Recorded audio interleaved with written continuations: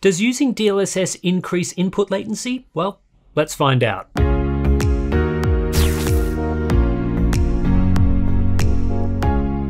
Welcome back to Hardware Unboxed. Today we are answering a question that lots of you guys have been asking us over the last couple of months.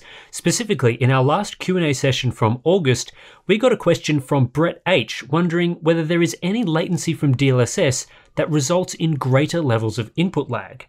And that at the time, we didn't really have a solid answer for Brett, but I promised I'd check it out and, well, here we are today with the results of that investigation. So at this point, we've covered NVIDIA's DLSS technology on the channel a number of times, and starting with version 2.0, we've been very impressed with the benefits it brings to frame rate for a minimal impact to image quality. It's definitely a feature we think is worth using in most cases, but this topic of input lag hasn't been explored too much, as it's a bit more difficult to test than just raw frame rate and image quality. The thinking that DLSS might increase input latency, I believe, comes from the experiences of competitive gamers using the tech in games like Fortnite and Call of Duty Warzone, where often you might be gaming in a CPU limited scenario with high frame rates.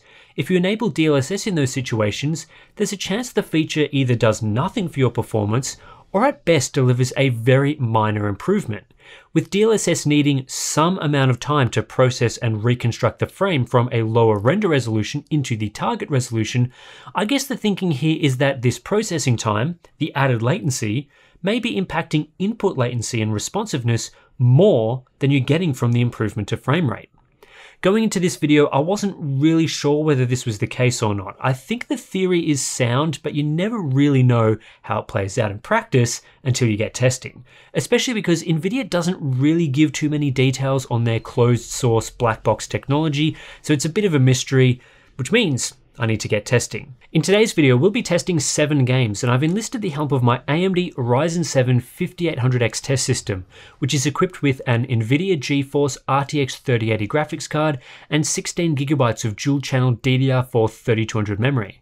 I also needed a low latency, high performance display, so I chose the Gigabyte Aorus FI27Q-X, which provides 1440p 240Hz with adaptive sync and a processing delay less than 0.5 milliseconds. We'll also be testing at 1080p and 1440p today, with this monitor providing as few bottlenecks on that testing as possible. For actually testing latency, I'm using NVIDIA's Latency Display Analysis tool, or LDAT for short. We've verified this tool to be as good as, if not better than, our other latency testing methods when we tested NVIDIA Reflex last year. So this isn't some NVIDIA BS tool that fakes data to make them look good. This is a very accurate device which is perfect for this sort of testing and does help simplify the process of taking hundreds of latency measurements. I'll also note here that when testing DLSS latency, we've used the current in-game version of DLSS. We haven't manually replaced the DLL file to use DLSS 2.2 or anything like that. This is the current shipping version of DLSS in the games we're testing. Also, each game has been tested with at least a 50 sample average for each latency result, in some games a 100 sample average, ammo permitting. We'll start the benchmarks with a look at Metro Exodus Enhanced Edition. This is a pretty straightforward case of being GPU limited in most test scenarios, as we're testing using ultra settings, high ray tracing with reflections on, and variable rate shading of four times.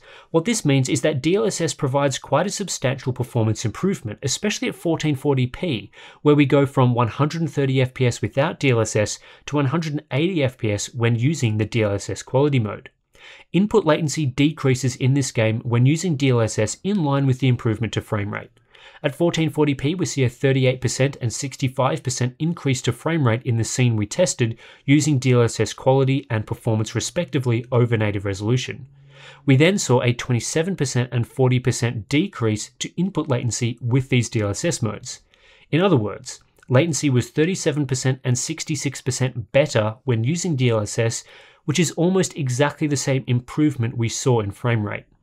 Similar story at 1080p. Frame rates improved by approximately 24% when using DLSS, with the performance mode running into a CPU limitation here as the render resolution was too low. In either case, we saw at least an 18% reduction in input latency or a 22% improvement to responsiveness, showing that like at 1440p, DLSS has increased the frame rate and decreased latency as expected.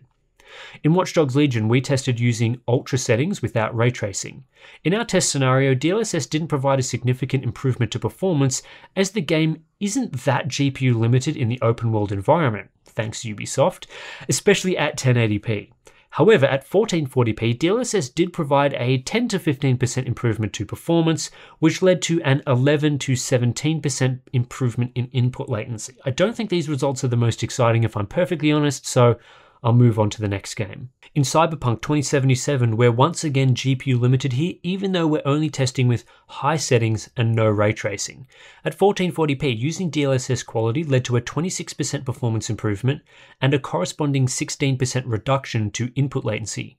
Using DLSS performance, we saw 52% higher frame rates in our test area for 27% lower input latency.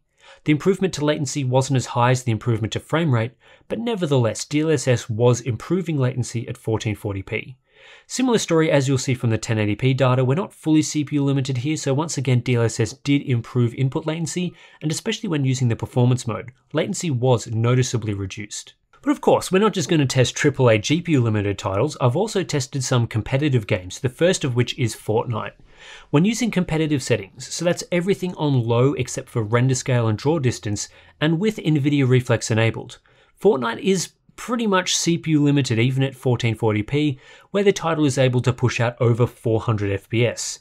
This is how most gamers who care about input latency would be playing this title. This is where DLSS input latency gets a little bit more interesting. At 1440p, DLSS actually reduces performance when you enable it, whether using the quality or performance modes. The overhead of using DLSS is higher than the benefit of reducing the render resolution, which makes sense as we're CPU limited, so reducing the resolution has next to no performance benefit.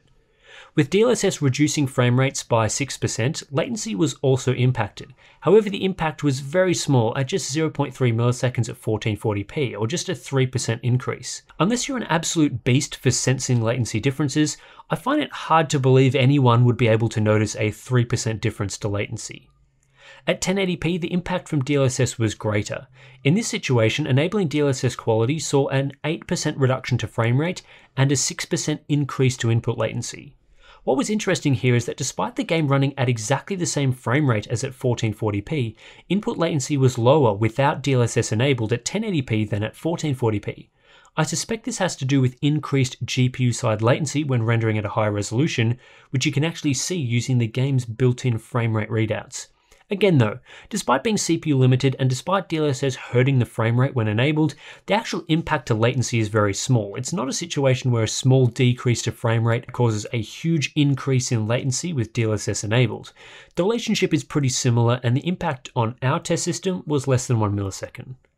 In Rainbow Six Siege using medium settings with a 100% render scale and reflex enabled, we're seeing very high frame rates once again. At 1440p, DLSS only provided a 7% performance improvement in the best case using the performance mode, and that was enough to improve input latency by 6%. The quality mode also led to a very small but measurable input latency improvement. At 1080p in this title, DLSS did provide a small performance improvement again, much to my surprise. However, there was virtually no latency benefit here. Using DLSS at 1080p didn't hurt input latency, but it also didn't improve input latency, so it's a bit of a neutral result. Call of Duty Warzone is by far the hardest game to test input latency in, and just a real nightmare for performance testing in general. But I did it anyway to provide these results because DLSS does have a bad reputation among the Warzone community, testing here using max settings without ray tracing. But the reason why DLSS has a bad reputation is more down to image quality than input latency based on these results. At 1440p, like in other titles, DLSS led to a small performance improvement, 5% when using the quality mode and 12% when using performance. This in turn improved input latency slightly, a 2% reduction using DLSS quality and 3% using DLSS performance. Using DLSS did not increase input latency in this situation. At 1080p, the story was a little different, as like we saw in Fortnite, using DLSS in this situation leads to a performance loss, as we're CPU limited even at 1080p without DLSS. A very small performance loss, mind you, most people would say these results are equivalent, but this led to a 3% increase to input latency. You'd be really hard pressed to notice the difference when gaming. Next up is Doom Eternal, another fast paced game which does benefit from low input latency. These results are once again pretty similar to other titles we've tested so far. At 1440p, DLSS can deliver up to a 12% performance improvement for up to a 10% improvement to input latency.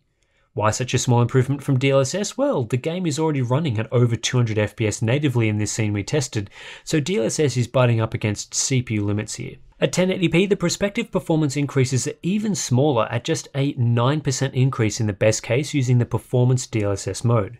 This was still enough of a performance increase to see a latency improvement of 5%, so while DLSS isn't doing a great deal here, it's also not negatively impacting latency through a large overhead. Lastly, I just wanted to look at the impact on input latency when using DLSS to improve frame rate versus in-game resolution scaling. We're back to Fortnite here using Epic settings now, and I've used the resolution slider to normalize performance to the two DLSS modes we've been testing. At 1440p, using the render scale does have a latency benefit. At the same level of performance, not using DLSS led to around a 1 millisecond improvement to input latency, in this case about a 5% improvement. However, at 1080p, where DLSS provides less of a performance improvement, the latency advantage to using just render scaling isn't really there, and using this method or DLSS provides roughly the same level of input latency.